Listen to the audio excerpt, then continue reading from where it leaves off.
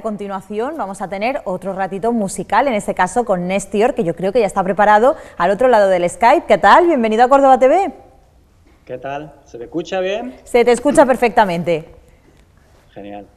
Bueno, pues eh, contigo nos vamos a ir de rumba, ¿no? Pues sí, bueno, ahora es lo que toca, por lo menos nuestras mentes y nuestros deseos más íntimos. Bueno, pues eh, cuéntanos, ¿cuál es este nuevo proyecto que lleva tu firma? Bueno, pues me llamo Nestior, soy de Granada y vengo de Sonido Vegetal, una banda de gypsy punk. Y nada, pues llevo un par de añitos ya arrancando un proyecto en solitario que es Nestior y acabo de sacar el segundo disco, Reversible. Sí. Que lo tengo aquí, luego lo enseñaré. Claro que sí. y, nada, pues este es ya el, tercer, el cuarto, el cuarto, single del disco. Sí, y y bueno, como había que hacer un vídeo y tal, pues decidimos hacer algo más, no sé, interactivo, así, un vídeo lyric, que no, no, habíamos hecho ninguno. y, y, por ahí, vamos, por, por ahora, me voy de rumba. Casi nada, casi nada, en, estos tiempos que corren. Eso quiero saber yo. Mm, en un tiempo como este, que es tan complicado también para los artistas, Nestior, ¿cómo, ¿cómo va todo esto? ¿Cómo se encajan todas las piezas para que al final nosotros podamos disfrutar, en este caso, de tu música? Bueno, pues ahora, como ya sabemos, los conciertos escasean por las circunstancias que estamos viviendo. Y bueno, pues nos dedicamos básicamente, yo por ejemplo, pues nada, sigo trabajando a preparar material y hago muchísimas canciones. Eh, ya tengo otro disco preparado, o sea, este tiempo ha sido un tiempo para mí fundamental. Para crear. Y, Sí, muy creativo, donde miras para adentro y, parar un poco esa rutina. Sí. Y eso, pues, para mí es muy valioso, este tiempo de, cuarentena, digamos. Por supuesto, hay que aprovecharlo, ¿no? Ya que no nos queda otra, que es lo que ha marcado la vida, pues por lo menos que aprovechemos ese tiempo. Sí, eso seguro, vamos. En mi caso, segurísimo. Nestior, eh, tú tienes una manera muy especial de presentar tu música porque tienes una mezcla que yo creo que no hay ningún otro artista, por lo menos en España, te iba a decir en el mundo, pero bueno, vamos a dejarlo por lo menos en España, que haga la misma mezcla que, haces tú. Tienes una música muy, muy particular y eso se agradece, que cuando algo suene eh, directamente nos vayamos al artista que, que es. Yo creo que eso dice mucho también de ti, de tu trabajo, ¿no? de esa señal tan importante que dejas. Pues sí, eh, la verdad es que, eh, a ver, yo soy muy melómano, me encanta la música, no distingo entre estilos, digamos que hay mucha gente que dice, pues es que a mí me gusta este estilo o, tal estilo. Y siempre digo lo mismo, que la música no es cuestión de estilo, sino de momentos. y, no quiero dejarme ninguno de los momentos fuera y como tengo la libertad ahora mismo, que soy yo solo, no tengo que darle cuenta a nadie, pues hago lo que quiero en cada momento. Bueno, lo que puedo. Lo que puedes. Ahora mismo todos estamos así, lo que podemos. Nestior, ¿por qué me voy de rumba? ¿Por qué has elegido este tema para que sea el siguiente en tu trayectoria? Pues este tema, eh, este tema, a ver, lo medio compuse cuando vine de Colombia. Ajá. Eh, estuve viviendo un tiempecito allí y bueno, allí irse de rumba es irse de fiesta. Ellos nos llaman, me voy de fiesta, me voy de rumba. Me, sonaba muy curioso el, concepto de irse de rumba. Y aquí, pues bueno, irse de rumba, eh, bueno, es más de rumbeo, de guitarra, y mezclé un poco pues los dos conceptos. Me voy de rumba y bueno, menciono un montón de países, en los que he estado y me gustaría estar y, pues eso, nos vamos de rumba a cualquier lado del mundo. Pues claro que sí, además nosotros nos vamos contigo, ¿eh? que lo sepas. nos vamos de tu mano. Encantado. Vamos a hablar también de reversible, porque aquí es que eh, no solamente en la música, no solamente has seleccionado la música en lo que arte se refiere, es que estamos hablando de otro tipo de arte también y, lo has eh, presentado de una manera muy muy original. Cuéntanos cómo surge Reversible y qué tiene de especial que vamos a necesitar hasta incluso un espejo para poder eh, comprender lo que tú nos quieres explicar. Pues el disco de Reversible básicamente ha, surgido eh, en este tiempo de encierro, ¿no? Sí. Entonces, bueno, el, primer día de, encerrarnos eh, decidí hacer el primer tema que se llamaba En Cuarentena. Sí. Y lo hice en directo a través de Facebook Live. Sí. eh, sin pretensiones ninguna, sino por entretenernos un rato, ya que estábamos encerrados, pues, y bueno, quedó, quedó, me gustó cómo había quedado y tal, decidimos hacer el videoclip, y a raíz de ahí, digo, bueno, pues un momento genial para, o sea, súper creativo, ¿no? Y bueno, pues sí que de cara afuera, pues parece que estamos muy limitados y bueno, realmente tenemos ciertas limitaciones, pero luego de cara adentro es un momento pues espectacular para, para crear, es súper creativo. Y el concepto sale reversible, es como, bueno, pues las cosas no son realmente como son, ¿no? O sea, sino como la perspectiva que tú quieras darle, ¿no? Reversible es una forma de decir que todo lo que no se puede sí se puede, que tiene siempre cualquier circunstancia otra cara súper constructiva y, se puede ver, ¿no? Entonces, pues aquí tengo el disco. Vamos a verlo. Sí.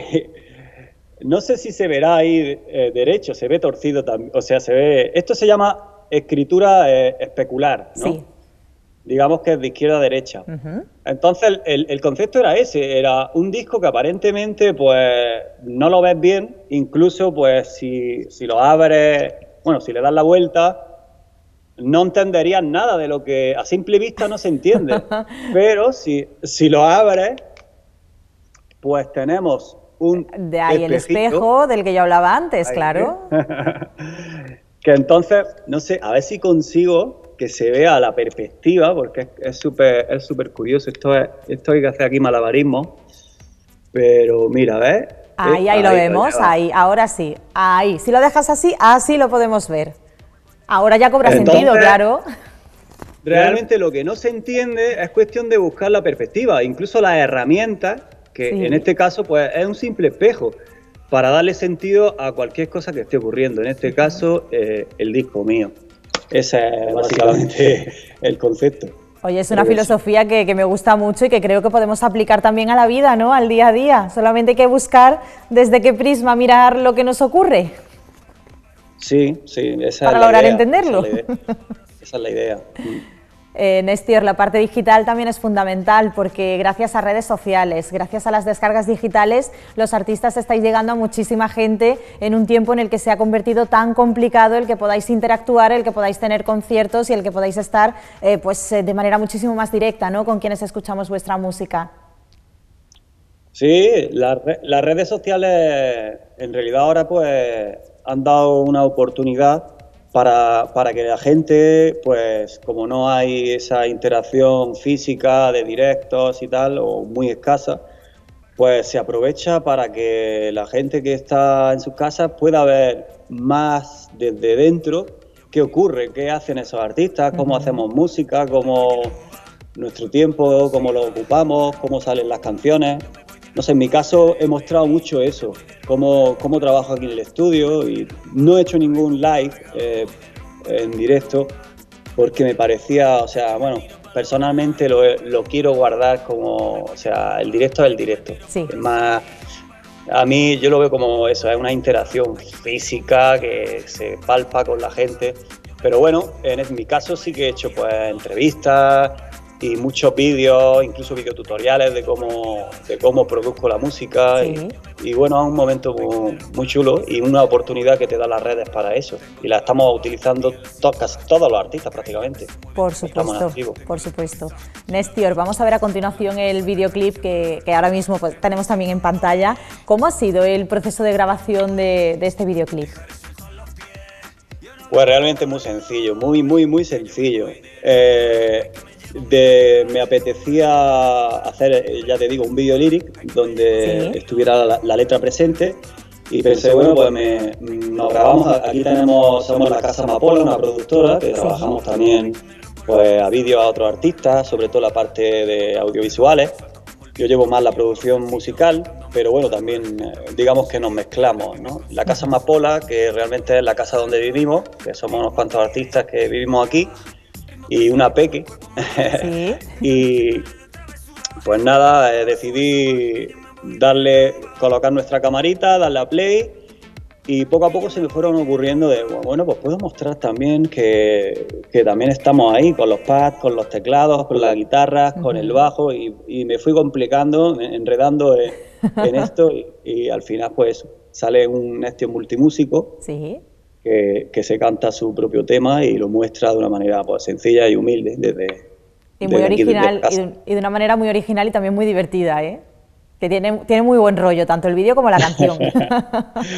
Qué ganica hay, ¿eh? De rumba. Nestior, ¿cómo se presentan los siguientes meses? Pues en realidad no, no tengo mucha esperanza en los planes que hago últimamente, pues bueno, eh, vamos un poco surfeando. Hay dos conciertos que se han ido posponiendo. Sí. En, tocaré en, el 5 de marzo en Granada, no, en Málaga, y el 6 de marzo en Málaga. Sí. Y hasta el momento no hay algunas fechas que están ahí por ver, pero no, no vamos a adelantar más nada porque quizás hacemos esas que las teníamos cerradas sí. y, espero quizás a, otoño. Aunque bueno, el verano siempre caen cosas inoportunas, pero en realidad no, no, no, sabemos no sabemos cómo va, a surgir esta situación. Si, si, se abre la veda y la vacuna, pues bueno, aplaca un poco el miedo, sobre todo el miedo, porque ya hemos visto que en los conciertos no hay virus, o sea, no hay contagio, no, por lo menos yo no he escuchado en ningún concierto que haya habido contagio. Están muy regulados, hay mucha seguridad, la gente, bueno, pone muchos medios. Sí. Y ya te digo que a ver si por lo menos ese miedo con la vacuna se, se extingue y podemos actuar, aunque sea pues, con las precauciones pertinentes. Todos estamos pendientes de ver qué es lo que vamos a poder y lo que no vamos a poder hacer, pero nosotros te vamos a seguir, por supuesto. Seguimos tu pista en redes sociales y te agradecemos enormemente que hayas eh, podido pasar este ratito aquí con nosotros en PTV Córdoba. Nada, muchísimas gracias por difundir pues, nuestro mensaje y, nada, un placer estar por, por, aquí esta mañana. El placer es nuestro y muchísimas gracias por esa buena energía que desprendes, Nestior. A ti, muchas gracias. Nos vemos pronto.